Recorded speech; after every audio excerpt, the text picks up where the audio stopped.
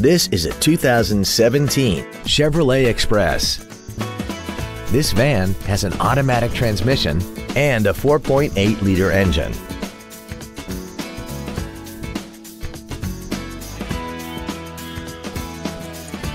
All of the following features are included. Heated side view mirrors, a low tire pressure indicator, an anti-lock braking system, commercial-free satellite radio, XM satellite radio, and a trip odometer. We hope you found this video informative. Please contact us today.